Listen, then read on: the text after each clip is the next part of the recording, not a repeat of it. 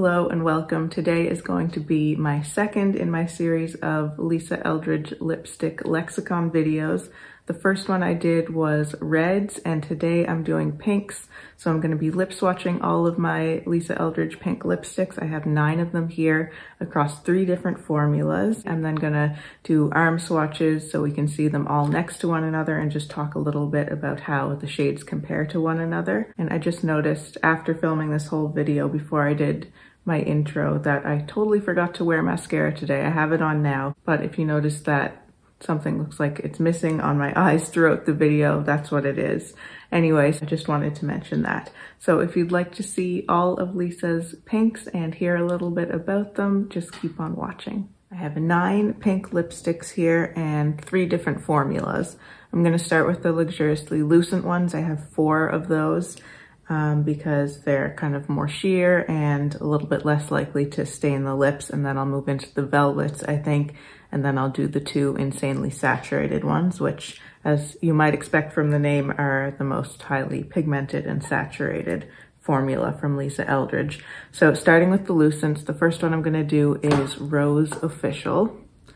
So here is what Rose Official looks like in the tube in general, the luxuriously lucent lipsticks tend to look a little bit darker or quite a bit darker in some cases in the tube than they end up actually looking on the lips. For the rest of these lip swatches, I'm just gonna play some music underneath and I'll be sure to label each shade as I go through.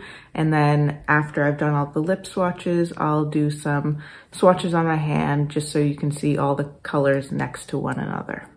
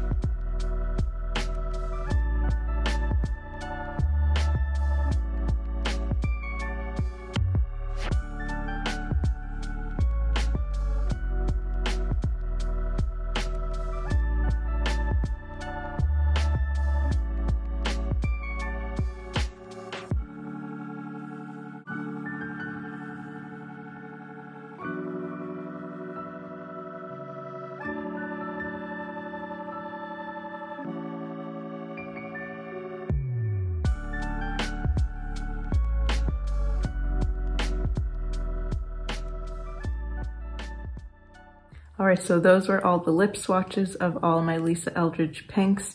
You might be wondering about shades perhaps like Blush Lightly or Velvet Blush Lightly, um, which could be considered a pink as well but I've decided that I'm going to include that one in my berry category. So I just wanted to focus on the ones that I consider to really be pink lipsticks. I decided to be brave and leave Rainbow Spill on my lips. It's not one that I wear very often. As I've talked about before in several videos, I do find a lot of pink lipsticks quite difficult to wear. There are just a lot of pinks that I don't find particularly suit me, or at least they require a fair amount of work and kind of playing around with other makeup and tones to really make them fit into a look. So a lot of these aren't really go-tos for me, but I'm still, of course, really happy to have them. I'm so glad to have all of them, you know, partly so I can do a video like this one and show you all of the pinks that Lisa Eldridge offers, and also just so I know that I have really a pink for any occasion or any look that I want to do. Rainbow Spill, for example, it's super bright. It's like this neon, hot, warm pink. Um, but it is a perfect lipstick for if I do like a full on rainbow eye, if I'm doing like a really pretty highly saturated rainbow eye with all the colors of the rainbow in it. Rainbow Spill just happens to be the perfect lip to go with that type of a look. Similarly, something like Go Lightly, which is also fairly neon, really not a very easy color for me to wear. It goes really well with a full rainbow eye as well. And perhaps that's one that I would go to if it were like a more of a pastel rainbow uh, the Go Lightly shade would really suit that really well. So for me, there are occasions and uses for each of these colors, even if they're not ones that I go to on a regular basis. So here are the swatches of all the colors on my arm. I'll just go through and name them first. This one is Rose Official, Love of My Life, Dance Card, and Go Lightly. So these are the four luxuriously lucent shades. And the most similar within this little grouping are Go Lightly and Dance Card. In my opinion, for me, Dance Card is actually a much better color. It's a little bit more muted. It doesn't have quite that super bright, almost neon quality that Go Lightly has. And so for me, who's someone who has more muted undertones in my skin to begin with, the slightly more muted version of the color is a lot easier for me to wear.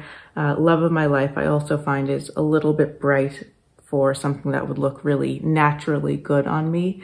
But Rose Official, you can see that has a lot more brown. It's a lot more muted and kind of almost nude in tone. That's one that's really easy for me to wear. And then moving into the Velvet. So these three here are the Velvet Pinks from Lisa. Velvet Beauty, Velvet Petal, and Velvet Carnival. You might have noticed when I was doing my lip swatches that Velvet Carnival and Velvet Beauty might have looked a little weird in the tube and I was applying them a little bit more gingerly. That's because both of those have actually broken off at the base. broke off last fall, I think October and November at some point. I haven't contacted customer service about it. I'm aware that that's an issue that people have had with some of their Velvet lipsticks, but this was the first time it happened to me and it happened to those two colors within a couple days of each other. So that's why they might have looked a little bit um, different when I was using them. But these to me are all quite different colors. Velvet Beauty is a real blue-based pink, but I find that it does have a slightly muted quality to it as well, but it's definitely on the cooler side. Then Velvet Petal, I would say, is the kind of warmer counterpart to Velvet Beauty. Very similar depths. They both have a slightly muted quality to them, um, but Velvet Petal is a little bit warmer and Velvet Beauty is more of a cool pink. For me, Velvet Petal is a lot easier to wear. And then we have Velvet Carnival, which is a really bright, it's like a neon, um, hot, cool pink, a hot, cool blue-based pink, as opposed to something like Rainbow Spill, which is a hot, warm, uh, kind of neon pink. And since we're already talking about Velvet Carnival, I think it makes sense to go into these other ones because these are all really super bright shades. These two are the Insanely Saturated formula. They're currently the only lipsticks in Lisa's range that are in the Insanely Saturated formula, but she has teased she's bringing out at least one new Insanely Saturated lipstick in her spring launch this year. Um, but this one is Skyscraper Rose, and then this one is Rainbow Spill. Skyscraper Rose kind of sits right in the middle between these two shades because you can see that it's just as bright as these, um, but it has a little bit of that warmth. It has like a little bit of a red note to it, but it also has a little bit of that kind of cool fluorescent hot pink feel to it as well. To me, this is really like a super bright, saturated fuchsia shade. So it has that mixture of blue and red and, um, you know, warm and cool at the same time. These are all of Lisa's pinks. I hope I've described them all right and I hope it was helpful for you to see them all on my lips. Please let me know if you have any questions or comments below. I always love to see those.